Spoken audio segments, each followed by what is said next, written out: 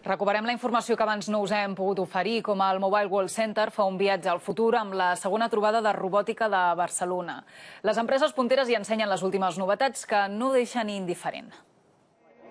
Aquesta és la Nuca. Tot i que sembla un peluix, és un robot en forma de nadó de foca que reacciona als estímuls de les persones que hi interactuen.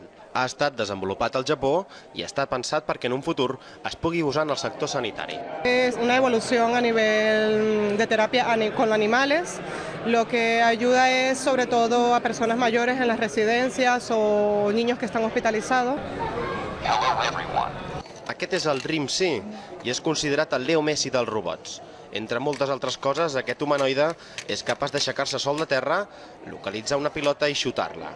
Aquest, en canvi, és l'Icup. Té l'aspecte d'un nen, està considerat un dels més avançats d'Europa i és capaç de jugar amb humans i fer de disjockey.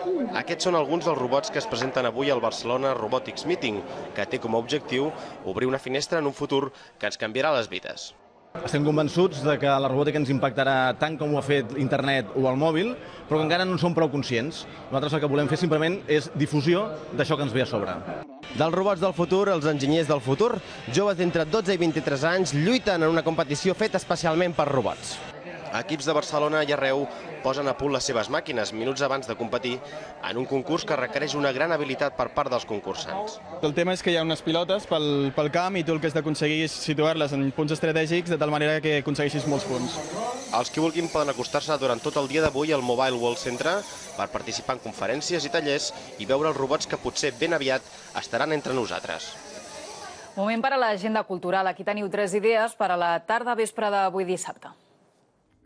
La ballarina i coreògrafa de dansa contemporània Sol Picó porta el seu darrer espectacle Desig a la